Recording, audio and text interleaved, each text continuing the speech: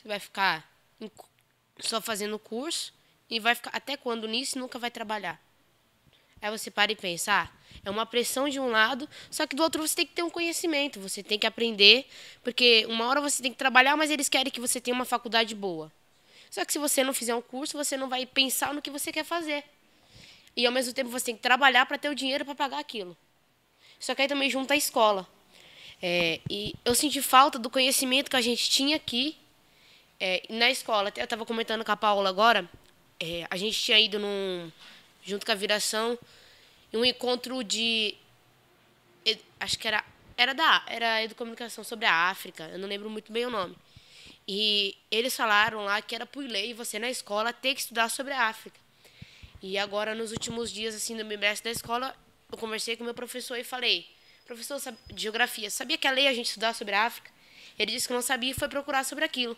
E aí, até que a gente, agora no final do ano, a gente produziu um seminário sobre a África. Então, assim, o conhecimento até que a gente tem aqui faz falta. Por isso que o quarto mundo é sempre muito bom para a gente, né? Porque a gente está discutindo tudo 24 horas, na frente da câmera, fora da câmera, nos nossos lanches.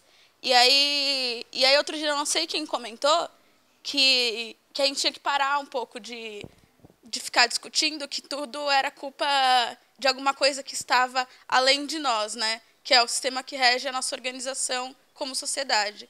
E, e aí a gente fica discutindo um monte de coisa e todas as nossas pautas. Por que, que, por que, que o Jonathan sofreu tanto em casa depois que ele entrou no quarto mundo? Por que, que a família do Jonathan teve essa repressão de assistir o Paulo, que é gay, falando sobre o que ele é? Por que, que um monte de quarto mundense teve que sair? E aí eu espero que, que agora, depois de tanto tempo, as pessoas tenham entendido que não é uma questão de, de ser chata, de, de ficar colocando sempre a culpa numa coisa que está além de nós, porque não é, é, é, a gente ter clareza, né? A partir do momento que o, um projeto foi aberto para vários jovens de vários lugares, a Andressa lá do ABC, o de Pirituba, o, o Harry de São Miguel, o Cadu do Capão, tipo, um monte de gente de um monte de lugar diferente, a gente está sujeito a isso, porque não é um programa com um monte de jovem de classe média podendo, brincando aqui de fazer audiovisual. Não, na verdade, é um monte de gente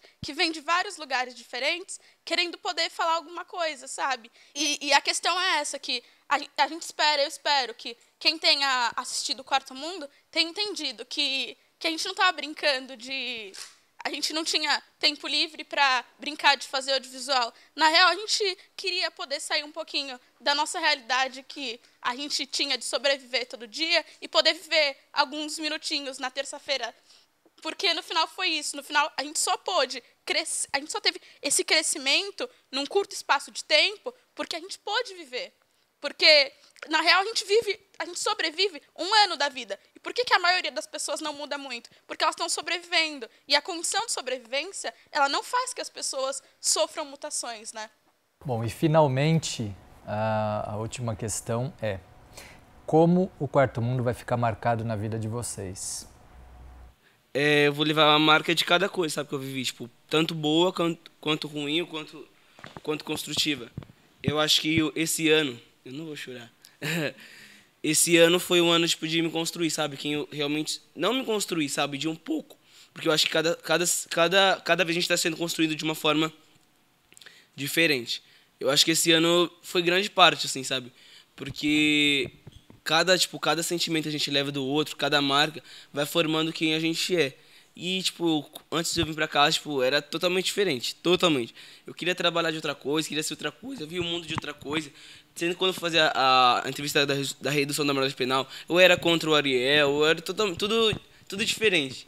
E, e agora o Guardião vai mudar, tipo, uma, uma marca de mudança, assim, sabe? Tipo, puta, a vida não é simplesmente isso, né? E, e, rapidinho, quando eu entrei aqui, tipo, nossa, tá ficando louco, você tá deixando o cabelo crescer, você fala só agora coisa de besteira, você não tá indo na igreja igual antes.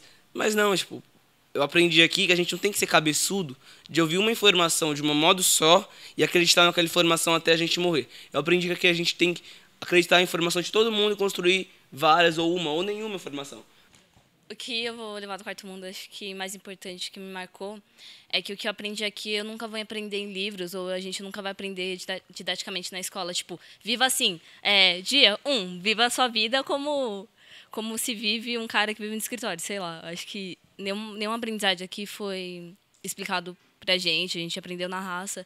Eu acho que isso que vai me marcar mais. Eu acho que o que a gente que eu vou levar daqui é muito além do que operar uma câmera, fazer uma entrevista, é muito além disso, é o seguir o teu sonho. Seguir, é seguir, não ligar para o que os outros pensam, ou pelas dificuldades que tem, ou quanto você vai ganhar daqui a alguns anos, ou se o que você vai fazer vai vai formar você uma pessoa rica e glamourosa. Eu acho que eu tenho que seguir meu sonho pelo aquilo que eu gosto. E eu era eu tinha que alternar os meus dias naquele que eu vivia, o que eu sobrevivia, o que eu vivia, o que sobrevivia. E eram dias que eu sabia que para mim o mais importante atualmente era o que eu sobrevivia, mas o que eu estava mais feliz era aquele que eu vivia. E além do que eu aprendi aqui de como operar uma câmera de vídeo ou como entrevistar alguém, eu vou levar principalmente um pouco de cada um, sabe? Acho que a gente aprende muito mais do que essas formações é aprender com o outro. Quando eu entrei no quarto mundo, não sei se todo mundo lembra, eu era muito fechado, a minha ideia era a única que valia e é isso. E conforme você vai vivendo, conforme você vai conversando com as pessoas e, e trocando, é, você já não é mais um só, sabe? Você tem um pouquinho de, ca de cada uma em você. Acho que isso é mais marcante, que você não se prender não só no seu mundinho e, e sim olhar os outros e continuar, sabe? O que mais me marcou foi essa coisa de você não ser só o individual e você ser grupo. Até quando você tem só uma ideia, por exemplo, eu posso dar uma ideia agora para tal matéria, mas aí não vai ser aquela ideia, vai ser aquela ideia, mas com a essência de cada um aqui, porque todo mundo vai complementar aquela ideia, e isso que vai ser. Então, com certeza eu vou levar todos vocês, um pouquinho de cada um, e eu fiz amigos aqui, tipo, que eu sei que é pro resto da vida, e o quarto mundo me marcou muito, e eu sei que nos próximos trabalhos vai ter um pouco de vocês neles, e eu espero que vocês se identifiquem. O que me marcou foi muito de, tipo, escutar a opinião das outras pessoas. Antes eu era o tipo de pessoa que era muito controlado pela TV, muito, tipo, da, de escutar o que os religiosos falam do que é certo e o que é errado. E para mim, aquilo era o que era certo, o que eu pensava era o que era certo, era o, tipo, só aquilo. E aqui eu aprendi que, tipo, ouvindo a opinião de muitas outras pessoas, acabei construindo uma, uma opinião bem melhor, um pensamento bem melhor. É, 2013 foi um ano de muito aprendizado para mim, né? Principalmente por ter entrado no Quarto Mundo e aqui na Vira, porque eu pude conhecer muita gente nova. Eu saí do meu ambiente, da minha zona de conforto, né? E vim conhecer gente totalmente diferente de mim. E isso foi muito legal, porque isso fez com que eu enxergasse o mundo de uma maneira diferente também, né? Abrisse, ampliasse meus horizontes. E é muito interessante isso, porque eu já não olho mais para determinado assunto, é, do, do, mesmo jeito que eu olhava ano passado, por exemplo. Né? Eu não sou a Andresa de, do ano passado, eu não sou a Andresa de ontem. Hoje eu sou uma Andresa diferente e isso eu devo muito a vocês, porque vocês me fizeram crescer muito nisso. A Ingrid, que é a nossa produtora aqui no Quarto Mundo, ela também queria dizer umas palavras para gente. Foi uma honra, assim, poder estar com vocês, tá ter visto a evolução de, de cada um, assim, né? Eu sou uma pessoa que fico muito, eu, gosto de ficar atrás das câmeras, né? E hoje eu pedi a licença, né, de vocês para para estar aqui, porque uma coisa que minha mãe diz para mim, que é quem não é visto não é lembrado.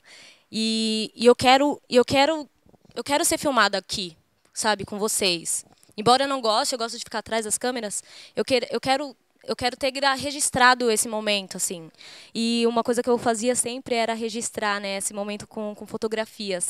E eu fico, às vezes, né, quando eu tenho tempo aqui na Vira, eu fico vendo essas fotos, né, do, do começo do ano, e eu falo, gente, como que, né, como o Jonathan mudou, como que a Maria mudou, como cada um, sabe? Como cada um mudou, assim, e é, e é lindo isso, né? E eu agradeço a vocês, assim, né? Eu, eu não eu aprendi mais do que ensinei vocês. E o Quarto Mundo fica por aqui. Mas tudo que a gente faz continua na internet. Então curta nossa página no Facebook ou nos escreva quartomundo.usp.br. Até a próxima temporada. 笑。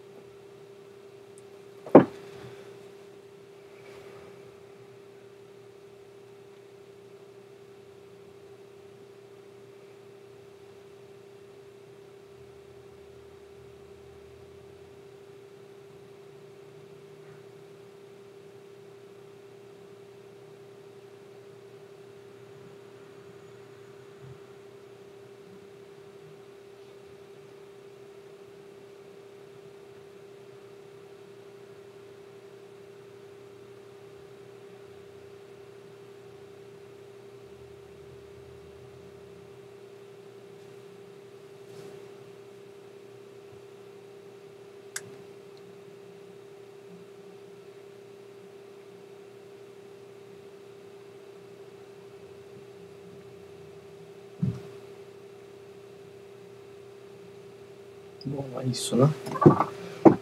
Nossa, é muito televisão mesmo. É através do meio que eu vivo, da família que eu... É, tipo, as religiões, tipo, o que você acha de tudo isso? Tipo, esse lance da Síria, esse lance do... do- do- Tipo, a Síria devolver, devolvendo das armas químicas pra ONU. E a ONU dos Estados Unidos. Aí se um dia os Estados... É, E onde entra a União Soviética? Tipo, é que nem aquela música do, do Legião Urbana, entender como Deus ao mesmo tempo é três, né? Mas beleza. O Alfa e o Ômega, né? Mas não entrando nessas questões que não tem sentido, Uma das coisas mais interessantes que eu vi sobre religião foi de um muçulmano de que as religiões do mundo são como os oceanos do planeta, né? Cada um tem um nome, mas todos fazem parte da mesma massa de águas. Gostou? E ele é muçulmano, hein? Não, mas o, mas o legal de tudo isso. Thank you.